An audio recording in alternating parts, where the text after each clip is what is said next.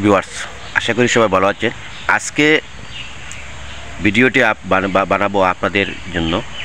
যারা টমেটো চাষ করতে ভালোবাসেন, টমেটো চাষের বিভিন্ন সমস্যা নিয়ে আলোচনা করব। তো প্রথমে আজকে আমি টমেটো গাছে কীভাবে কোন বয়সে কতটুক সাইজে হলে গাছ, আপনার টমেটো যে সার দেওয়ার নিয়ম, কতটুক পরিমাণ সার দিবেন, সে বিষয়ে আমি আজকে আমি আপনাদেরকে দেখাবো। পরবর্তীতে আপনারা বিভিন্ন পর্বে আপনারা বিভিন্ন পরিচর্যা বিষয়ে আপনারা জানতে পারবেন। তো চলুন, প্রিয় দর্শক কীভাবে সার দিতে হয় সেটা আপনাদেরকে দেখানো যাক। প্রিয় ভিউয়ার্স যে কথাটি বলতেছিলাম, প্রথমে এরকম একটি টমেটো গাছে আপনারা চতুর্দিকে, এরকম চতুর্দিকে আপনারা কোদাল দিয়ে খুর দিবেন বা যেটা যে ভাষায় বলে নিড়ানি দিবেন।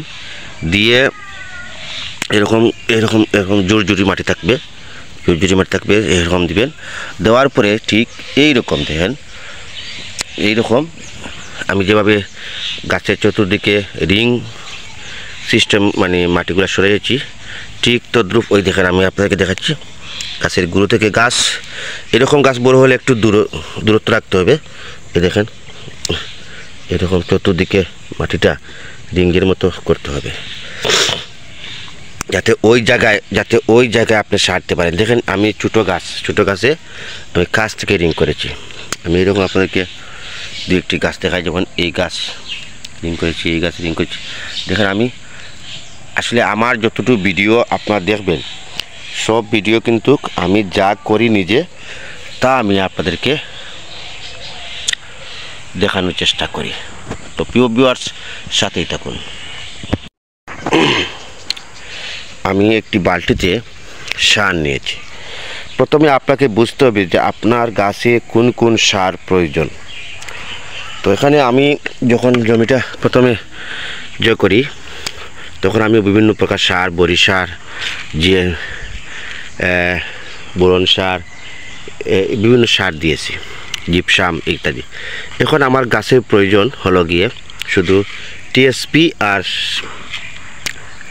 ইউরিয়া। তো টিএসপি আর ইউরিয়া দেখেন আমি এখানে টিএসপি এবং ইউরিয়া মিক্স করেছি। দুই কেজি ইউরিয়ার সাথে এক কেজি টিএসপি সার যেটাকে আমি লাল সার বলি উম, গুলো আমি মিক্স করেছি। মিক্স করার পর আমি আপনাদেরকে দেখাবো। প্রথমে আমি এই রকম চতুর্দিকে এক মুঠ সার দেব। হাতের মুঠোই দেখেন হাতের মুঠোই এক মুঠ সার দেব। চতুর্দিকে ঘুরিয়ে এক মুঠ সার দেব। যদি হাতের মুঠোতে এরকম একটু সার কম উঠে মনে করেন, তাহলে আপনি আর একটু এমচু দিতে হয়। দেখেন, আমি হাতের মুঠ দিয়ে এক মুঠে সার দিচ্ছি চতুর্দিকে ঘুরিয়ে। এভাবে সার দিয়ে তারপর দেখেন আমি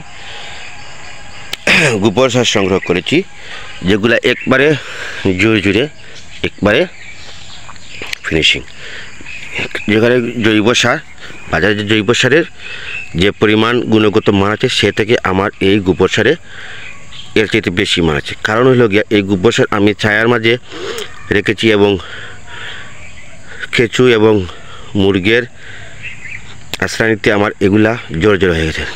তো ভিউয়ার্স এইরকম আমি দেব, এরকম দুই মুঠ সার দেব, বেশি না, দুই মুঠ সার দেব। দুই মুঠ সার দিয়ে আমি এরকম মাটি দিয়ে ভালোভাবে ডেকে দেব এরকম ভালোভাবে ডেকে রাখব। এরকম এরকম প্রতিটি গাছে আপনাকে সার দিতে হবে। সার দেওয়ার, সার দিতে হবে। সার দিয়ে এরকম গোবর সার দিয়ে আপনার ডেকে দিতে হবে। সার দেওয়া, ডেকে দিয়ে গোবর সার দিয়ে এরকম ডেকে দিলে চলবে। তারপরে আপনি দুই থেকে তিন দিন পর বা তিন দিনের মাথায় আপনারা কি করবেন? পানি দিবেন। তো ভিউয়ার্স আমার সাথে যে কথাটি বলতেছিলাম আপনাদেরকে প্রথমে টমেটো গাছে কীভাবে প্রথমে মাটি করতে হয় চতুর্দিকে তারপরে আপনার মাটির গাছের চতুর্দিকের যে মাটিগুলা রিং সিস্টেমে সরানো সরাতে হয়। তারপরে হ্যাঁ, আপনি হাত, গাছ পরিমাণ আপনি এরকম একটু গাছ হলে আপনি কী করবেন? এক মুঠো পরিমাণ সাদা সার এবং ইউরিয়া সার নেবেন। নিয়ে চতুর্দিকে আপনি এরকম দিতে হবে। তারপরে কী করতে উপরে একটু গোবর যদি থাকে, জৈব সার থাকে, তাহলে উপরে একটু জৈব সার দুই মুঠ পরিমাণ দিয়ে মাটিগুলো ডেকে রাখতে হবে। এবং এই গাছগুলো যত বড় হবে, তত পরিমাণ আপনি একটা কুটি দিতে হবে। কুটি দিয়ে যাতে গাছগুলো মাটিতে ডলে না পড়ে, মাটিতে পড়লে আপনার ফুল, ফল নষ্ট হবে, গাছগুলো নষ্ট হবে এবং আপনার গাছ পাড়ার সাথে সাথে এইরকম নিচের যে পাতা, পাতাগুলো আপনি এরকম ছাঁটাই করে নিচগুলা পরিষ্কার রাখতে হবে, গাছ পরিষ্কার রাখতে হবে। তো ডুয়ার্স এই ছিল আজকে আমার টমেটো গাছের প্রথম ধাপের পরিচর্যা। আর এগুলাতে আপনি আরেকটি কথা বলি আপনারা ছত্রাকনাশক এবং কীটনাশক সপ্তাহে একদিন দিয়ে রাখবেন। ছত্রাকনাশক যদি আপনার গাছের কোনো সমস্যা না আসে, তারপরেও আপনারা কী করবেন? ছত্রাকনাশক এটা চালিয়ে যাবেন। তাতে করে করে আপনার গাছে কোনো রোগবালাই বা ভাইরাস আসবে না। তো ভিউয়ার্স আপনার টমেটো যদি ক্রুসা বিট প্রতি সপ্তাহ পনেরো দিন রোগ আসার আগে যদি আপনি সপ্তাহে বা দশ দিন পরে যদি একবার একবার দিয়ে থাকেন, তাহলে ভালো হবে। তবে ছত্রাকনাশক ভাইরাসগুলো, এগুলা, এগুলো আপনারা বিকালের দিকে স্প্রে করবেন। আর যদি কারও সময় থাকে, তো সকালের দিকে স্প্রে করবেন। তবে পুরা রদির মাঝে করা যাবে না। আর পাতার উপরে এবং নিচের দিকে স্প্রে করবেন। আমি অবশ্যই একদিন আপনাকে স্প্রে করার সিস্টেম কীভাবে দেখাবো।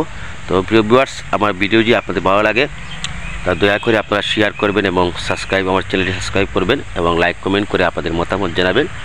আর আসলে আমার ভিডিওটি করার উদ্দেশ্য হলো আপনাদের উদ্দেশ্যে যাতে, যারা আমার মতো চাকরির পাশাপাশি এরকম কৃষিকাজ খাত করতে, কৃষিকাজ করতে ভালোবাসেন, কৃষিকে ভালোবাসেন, তাদের জন্য আমার এই ভিডিও। সবাই ভালো থাকবেন। আসসালামু আলাইকুম।